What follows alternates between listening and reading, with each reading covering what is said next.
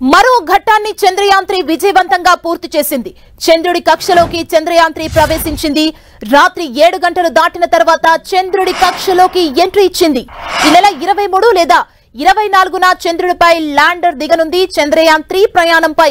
ఇస్రో సంతృప్తి వ్యక్తం చేస్తోంది.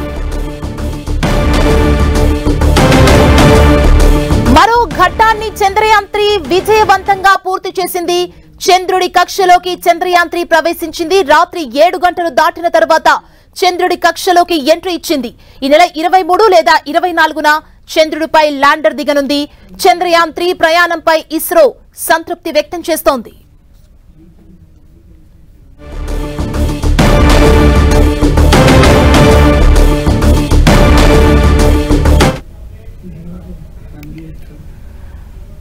మరో ఘట్టాన్ని చంద్రయాన్ త్రీ విజయవంతంగా పూర్తి చేసింది. చంద్రుడి కక్షలోకి చంద్రయాన్ త్రీ ప్రవేశించింది. రాత్రి ఏడు గంటలు దాటిన తర్వాత చంద్రుడి కక్షలోకి ఎంట్రీ ఇచ్చింది. ఈ నెల ఇరవై మూడు లేదా ఇరవై నాలుగున చంద్రుడిపై ల్యాండర్ దిగనుంది. చంద్రయాన్ త్రీ ప్రయాణంపై ఇస్రో సంతృప్తి వ్యక్తం చేస్తోంది.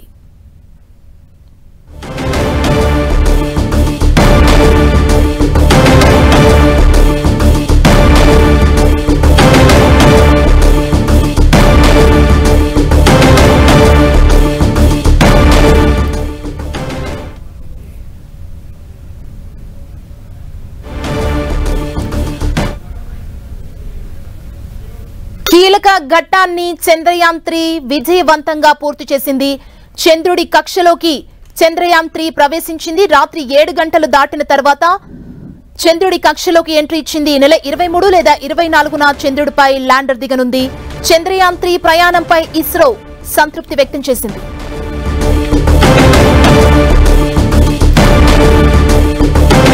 ఇక ఉస్మానియా యూనివర్సిటీ ప్రొఫెసర్ శ్రీరామ్ గారు మనకు ఫోన్ లైన్లో అందుబాటులో ఉన్నారు. చంద్రయాన్ త్రీ విజయవంతంగా పూర్తి చేసింది అంటే చంద్రుడి కక్షలోకి చంద్రయాన్ త్రీ ప్రవేశించింది. దీన్ని ఎలా చూడాలంటారు శ్రీరామ్ గారు?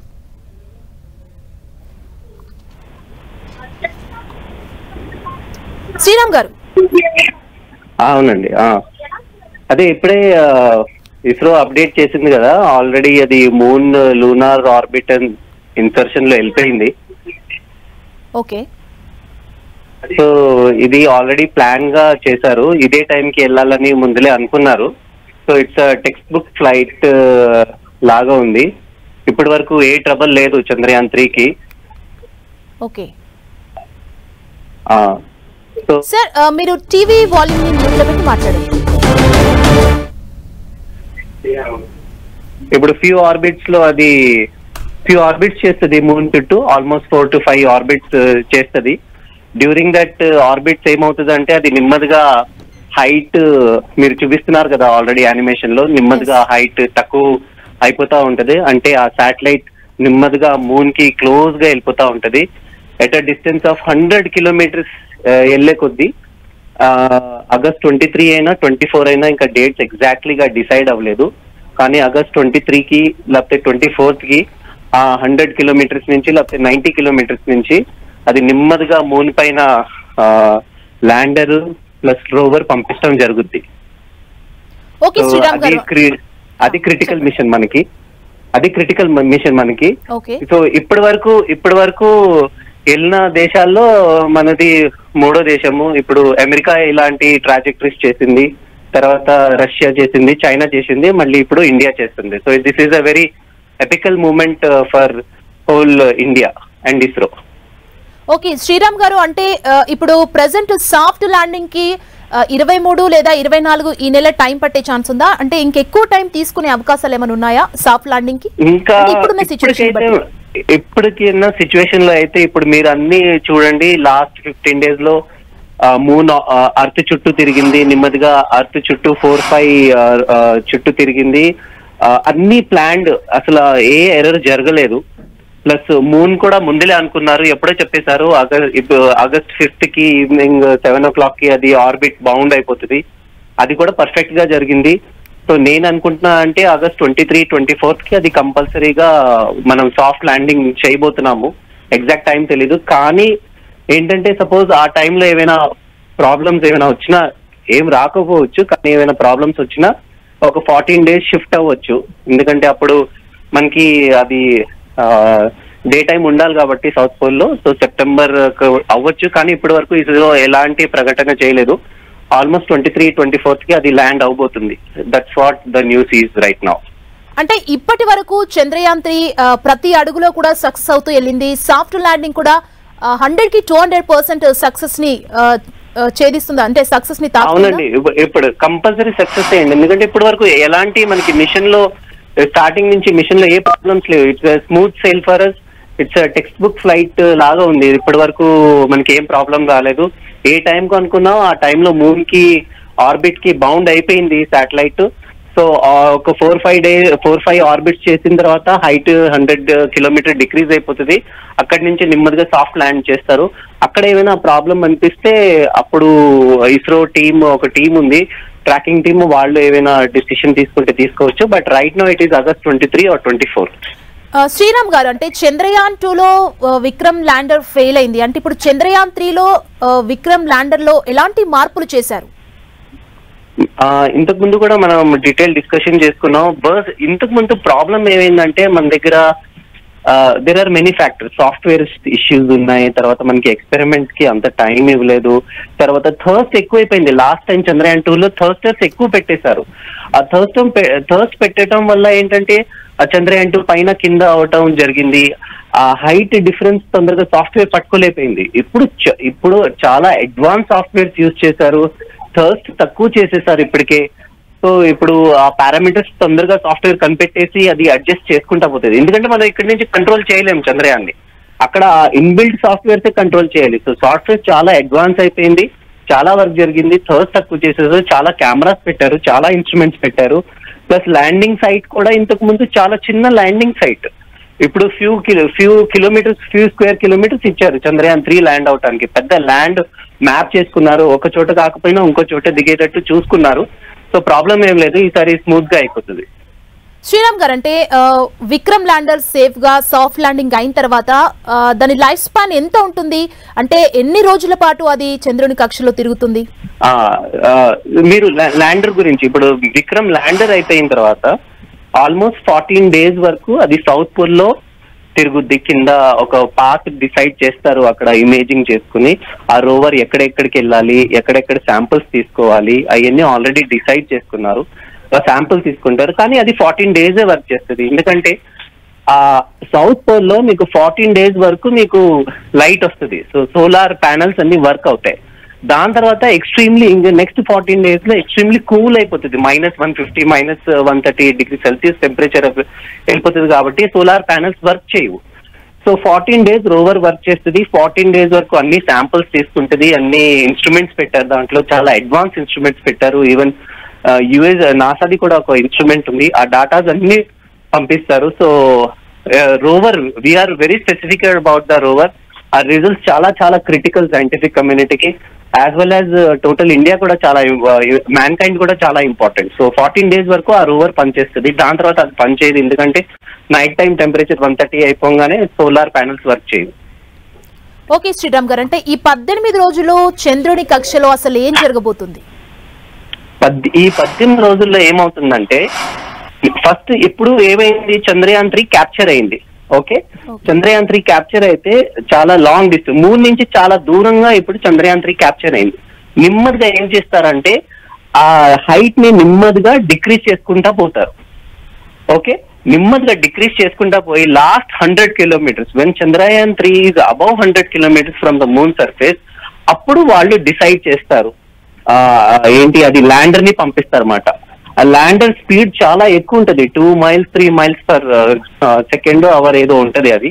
సో దాంతో అంటే స్పీడ్ని తగ్గించుకుంటా పోవాలి. ప్రపల్షన్స్ మంచిగా థర్సన్స్ మంచిగా పనిచేయాలి ఆ పని చేసి నెమ్మదిగా ల్యాండ్ అవుతుంది. సో ఈ ఎయిటీన్ డేస్లో ఏంటంటే కరెక్ట్గా మన చంద్రయాన్ పర్ఫెక్ట్గా ఆ హండ్రెడ్ కిలోమీటర్స్ రీచ్ అవ్వాలి. That is the plan for these eighteen days కొంచెం ఇటు ఇటు అయినా అది మన ఇస్రో సైంటిస్టులు చూసుకుంటారు. సో ఇప్పటి వరకు అయితే అన్ని పర్ఫెక్ట్గా జరిగినాయి కాబట్టి ఎయిటీన్ డేస్లో కంప్లీట్ క్యాప్చర్ అయిపోతుంది. కంప్లీట్ క్యాప్చర్ అయిపోయి హండ్రెడ్ కిలోమీటర్స్ నైన్టీ కిలోమీటర్స్ వరకు చంద్రయాన్ త్రీని తీసుకెళ్తారు. దాని తర్వాత అది ల్యాండర్ని ప్లస్ రోవర్ని పంపిస్తారు కిందకి. ఓకే థ్యాంక్ యూ శ్రీరామ్ గారు.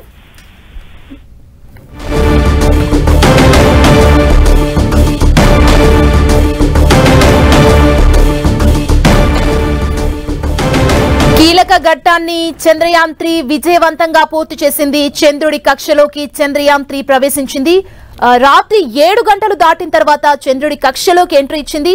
ఈ నెల ఇరవై మూడు లేదా ఇరవై నాలుగున చంద్రుడిపై ల్యాండర్ సాఫ్ట్గా దిగబోతోంది. చంద్రయాన్ త్రీ ప్రయాణంపై ఇస్రో సంతృప్తి వ్యక్తం చేస్తోంది.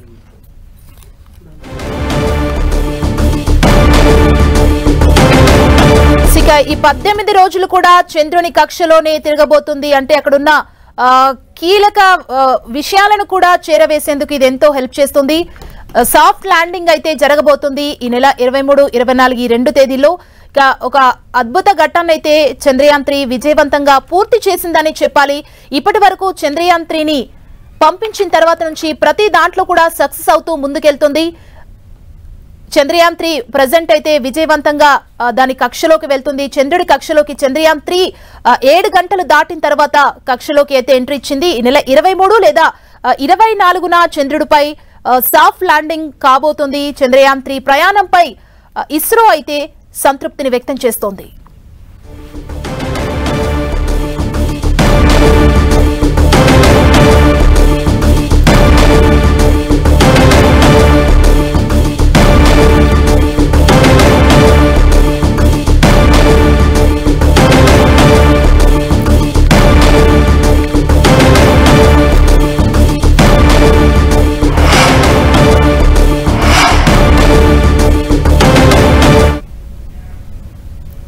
చంద్రయాన్ మిషన్లో ప్రయాణం అంతా సాఫీగా సాగితే ఆగస్టు ఇరవై మూడున సాయంత్రం ఐదు గంటల నలభై ఏడు నిమిషాలకు విక్రమ్ ల్యాండర్ చంద్రుడిపై అడుగు పెడుతోంది. భూమిపైన పద్నాలుగు రోజులు చంద్రుడిపై ఒక రోజుకు సమానం. చంద్రుడిపై ఒక రోజును లూనార్ డే అని అంటారు. ఈ మిషన్ని పద్నాలుగు రోజుల కాల పరిమితితో డిజైన్ చేశారు. ల్యాండర్ లోవర్లు ఇక్కడ దాదాపు పద్నాలుగు రోజుల పాటు సాంకేతికంగా పనిచేసి తమ పనుల్ని కొనసాగిస్తాయి.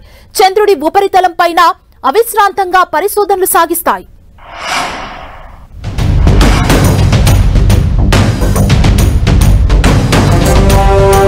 చంద్రయాన్ టూ ప్రయోగం సమయంలో విక్రమ్ ల్యాండర్ దగ్గరే అడ్డంకి ఎదురైంది.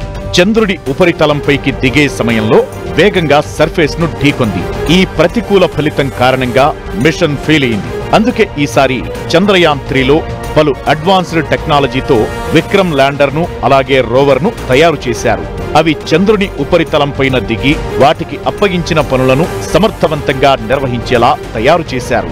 జాబిల్లిపై దిగినప్పటి నుంచి ఎలాంటి ఇబ్బందులు లేకుండా సొంతంగా ఈ ల్యాండర్ రోవర్లు పనిచేస్తాయి. ప్రయోగానికి ముందే ఇస్రో దీనిపై పెద్ద కసరత్తే చేసింది.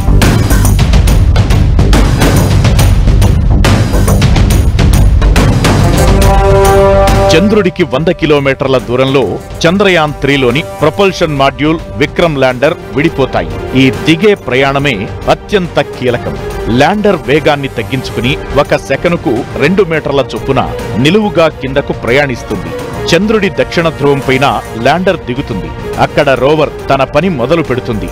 చంద్రునిపై ల్యాండర్ దిగడమనేదే అత్యంత కీలకమైన పరిణామం. ఇది సక్సెస్ అయ్యిందంటే ఇక మిషన్కు తిరుగుండదు. చంద్రుడిపై ఒక రాత్రి ఒక పగలు ల్యాండర్ రోవర్ గడుపుతాయి. ల్యాండర్ నుంచి రోవర్ బయటపడి చంద్రుడి ఉపరితలంపై వాతావరణాన్ని పరిశీలిస్తుంది.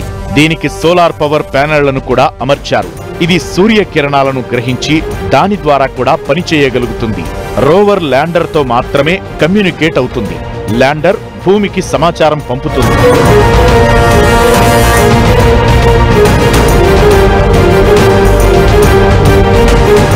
రోవర్లోని స్పెక్ట్రోస్కోప్ ద్వారా చంద్రుని ఉపరితలంపై రసాయనాలు లవణాలకు సంబంధించిన అంశాలను విశ్లేషిస్తుంది.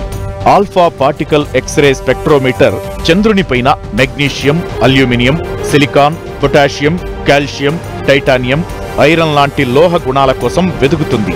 వీటి విశ్లేషణలన్నింటినీ ల్యాండర్ ద్వారా భూమికి చేర్చుతుంది. దీంతో మిషన్ పరిపూర్ణమవుతుంది.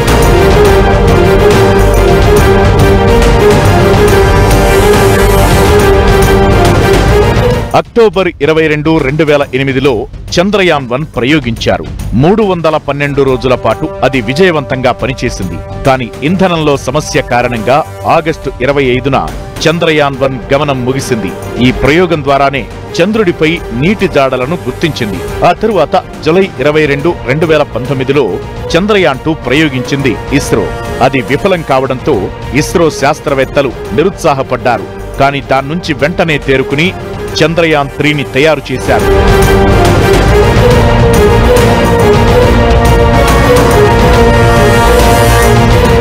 రెండు వేల పదమూడు నవంబర్ ఐదున మంగళ్యాన్ ప్రయోగం అంగారక గ్రహం విశేషాలను తెలుసుకునేందుకు ప్రయోగించింది. మార్టైన్ కక్షలోకి రెండు వేల పద్నాలుగు సెప్టెంబర్ ఇరవై నాలుగున చేరింది. సంవత్సరం జీవితకాలంతో ప్రయోగిస్తే అది నిరంతరాయంగా ఆరేళ్ళ పాటు పనిచేసింది దీంతో అంతరిక్ష ప్రయోగాల్లో భారత్ పురోగతి సాధించగలదనే నమ్మకాన్ని ప్రపంచానికి చాటింది ఇస్రో.